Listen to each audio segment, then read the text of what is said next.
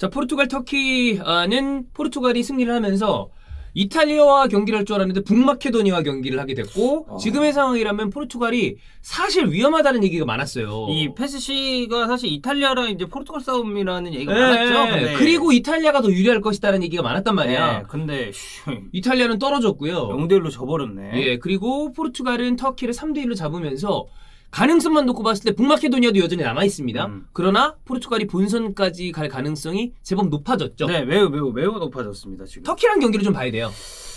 어, 근데 저는 오늘 경기 보면서 이제 좀 들었던, 들었었던 생각, 왜냐면 이제 우리가 이제 포르투갈이 이겼고, 포르투갈에 대해서 오늘 좀 음. 아무래도 후리뷰가 좀 예. 포커스가 맞춰지다 보니까, 어, 포르투갈 쪽 얘기를 좀 해보면, 저는 베스트 11 보고, 음. 사실 좀, 어, 의아했다 해야 하나? 네. 왜요? 왜 그러냐면, 저희가 이거 이제 시트지로 나오는 라인업이 있고, 실제 음. 이 선수들이 뛰는 건 약간 또 다르죠? 차이가 있습니다. 어. 그래서 이거는 그냥 일단 비교하면서 봐주시면 될 것 같고, 시트지 라인업을 보면 자 일단 골키퍼에 디오고 코스타가 들어갔고요. 음. 그리고 좌측 풀백 게레이루 그리고 중앙 센터백 다닐루 폰테 여기에 우측엔 달로가 나왔습니다. 그리고 위를 보면 무티뉴가 있어요. 음. 그리고 2선 쭉 보죠.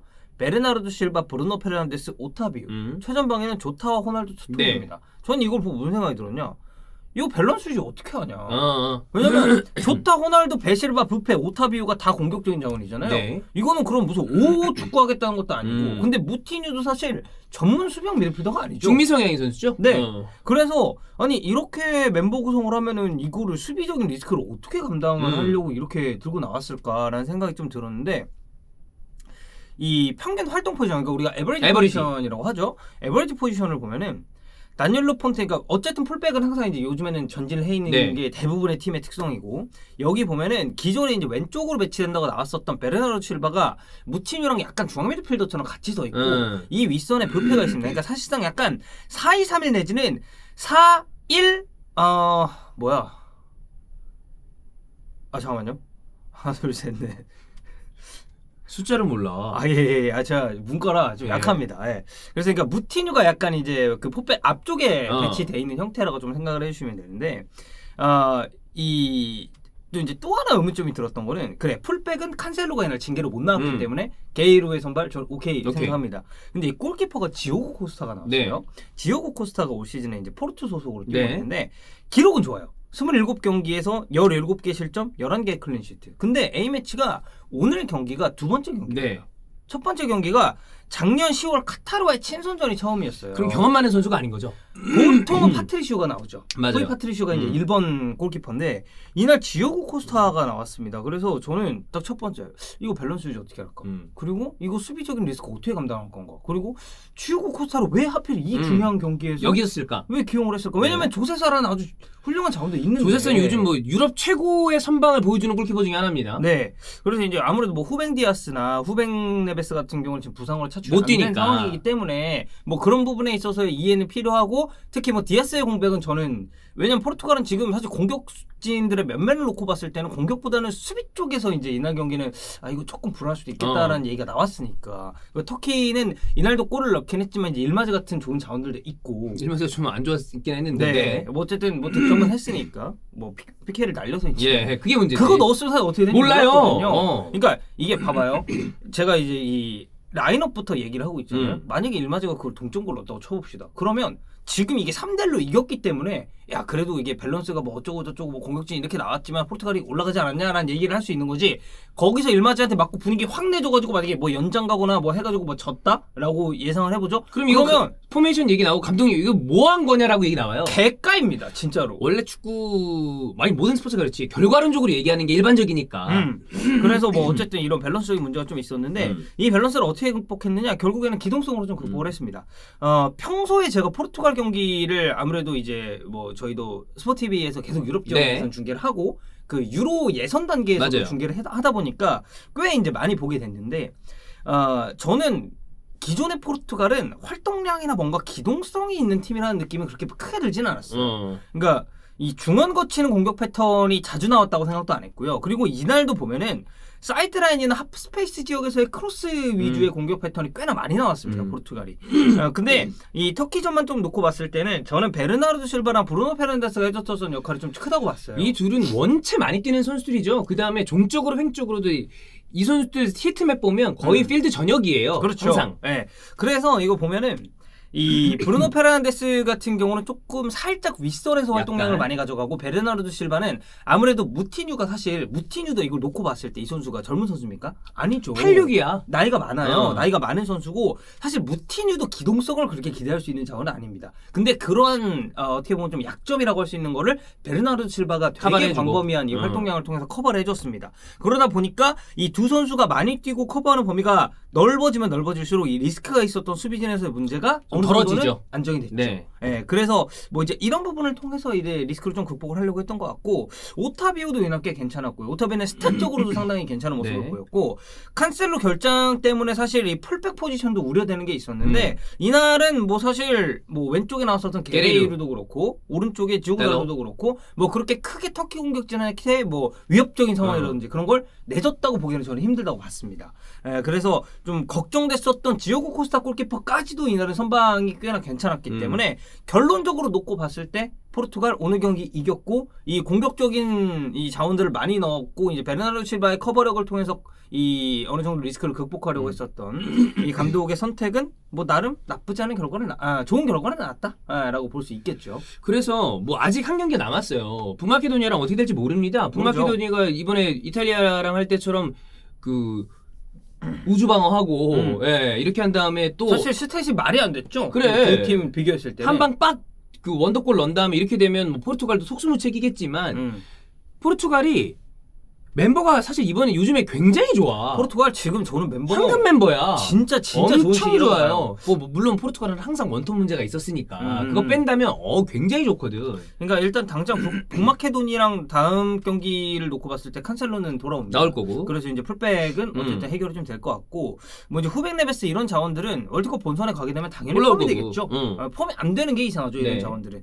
근데 이제 문제는 어, 페르난드 산토스 감독의 이런 전술에 대해서 계속해서 팬들이 좀 의문부호를 붙이고 있다는 거죠. 근데 이 사람은 항상 그런데 결과적으로는 어느 정도의 퍼포먼스를 내는 경우가 많아서 아니 성과를 내잖아요. 왜냐면은 유로 2016 우승했죠. 우승이잖아. 네이션스리그 우승자 그래. 우승을 했어요 포르투갈이 또 그래서 이런 트로피를 들어올리는 거에 있어서는 산토스 감독을 까기가 어렵습니다.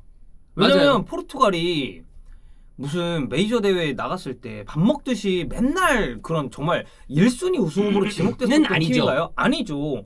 프랑스랑 포르투갈이 유로 2016 결승을 했을 때도 그때 당시 정배는 프랑스였단 프랑스였어요? 말이에요. 맞아. 근데 포르투갈이 어쨌든 우승을 해냈고 그 과정에서 산토스 감독의 역할은 저는 대단했었다고 보고 이게 이게 아까 우리가 얘기했지만 축구는 결과론적입니다. 음. 아무리 좋은 감독도 결과가 계속 안 좋죠. 과정이 좋다 하더라도 그러면 명분이 생겨. 이 사람은 날려야 된다. 음. 라는 생각을 할 수밖에 없단 말이야. 반대로 아, 좀 지지부진하고 그래. 근데 어느 정도의 성과가 계속 나오면 이 감독에 대해서 협회나 아니면 음. 팬들이 과감하게 날려야 된다. 그게 힘들죠. 라고 얘기 어려워요. 특히나 맨날 매주마다 경기가 있는 리그랑 다르게 대표팀은 간혹가다 소집이 되고 음. 결과가 중요하기 때문에 이 사람이 아무리 경기력적인 측면이나 막 이런 거에 대해서 의문부호가 따르고 비판이 따를지라도 이, 이 당장 이 감독을 날려버릴 만한 명분이 있느냐? 좀 음. 애매해요. 근데 명분이 사실 중요해요. 어, 네. 되게 중요해. 왜냐면 그러니까 만약 예를 들어 포르투갈 경기 평소 잘안 봐.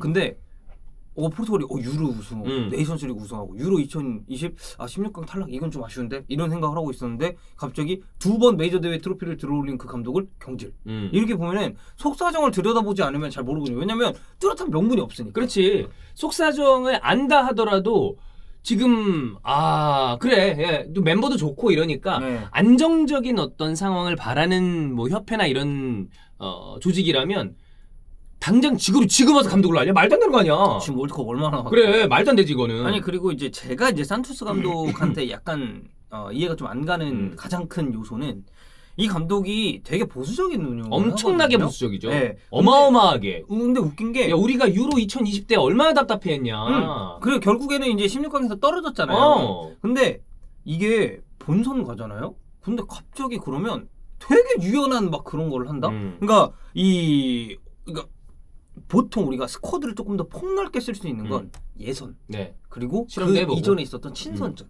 특히나 친선전이나 이런 거는 되게 중요하죠. 왜냐면 거기서는 일단 많은 선수를 테스트를 해보고 그렇죠. 뭐 예를 들면 골키퍼도 2번도 써보고 3번도 써보고 아니면은 뭐 수비진도 조금 바꿔보고 음. 이런 게 있어야 되는데 그때는 되게 딱딱하게 운영하다가 되게 중요한 경기나 본선 무대 가잖아요. 그럼 이상하게 바꾼다. 자, 당장 오는 경기 이거 지면 탈락이거든요. 음. 근데 골키퍼 지오고 코스타. 이게 결과가 좋았으니까 네. 이렇게 얘기가 나오는 거지. 만약에 지오고 코스타를 기용을 했는데 갑자기 막 말도 안 되는 실수를 해가지고 먹혀가지고 떨어져. 그러면 이거 그렇지. 무조건 도마에 오르는 음. 거거든요. 그래서 저는 이제 이런 과감한 결단을 내리는 건 친선전에 사시고 본선이나 중요한 경기에서는 원래 조직력 같아졌던 대로 그때 차라리 조금 보수적인 운영을 하는 게 낫지 않나. 이 사람 스타일인가 봐. 음. 유로 때 결과랑 내용이 다 안 좋았어요. 근데 만약에 포르투갈이 북마케도니아한테 져가지고 이제 예를 들어 떨어져. 음. 그러면 아마 감독이 바뀔 수도 있겠지. 음. 근데 이번에 올라가면 또 봐야 돼. 그렇죠. 네. 네. 유로 때 실망스러웠고 우리가 사실 형철이랑 경기 보면서 산토스 감독 욕 되게 많이 했거든. 음. 근데 그 이전의 경력 때문에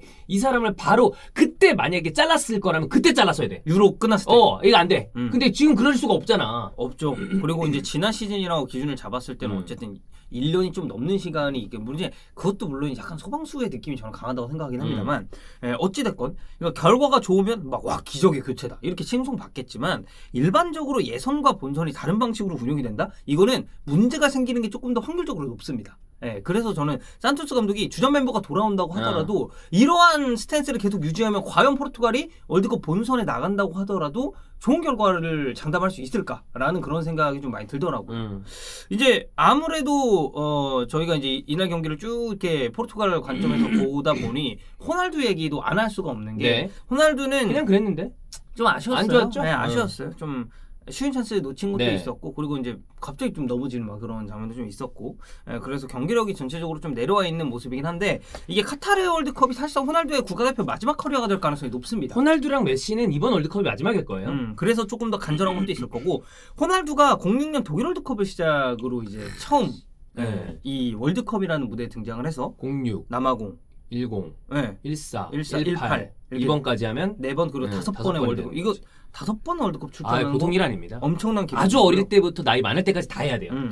그래서 이제 유로 2016이나 네이션스리그에서는 포르투갈 대표팀이 우승컵을 음. 들어 올렸지만 가장 최근 메이저 대회였던 유로 2020에서는 좀 아쉬웠고 내용도 안 좋았고. 예, 음. 그러기 때문에 이 카타르 월드컵에서의 호날두의 마무리가 어떻게 될지에 대해서 팬들도 많이 좀 궁금해하시죠. 자, 근데 아직 끝난 건 아닙니다. 북마케도니아는 음. 경기 봐야 돼요. 그 북마케도니아가 이탈리아가 안 좋았으나 어쨌든 잡아냈기 때문에 음. 포르투갈도 방심할 수는 없을 거고 그 경기까지 포르투갈이 잡아낸다면 이제 한 번 더 월드컵에서 호날두를 네. 보는 거죠. 음. 네.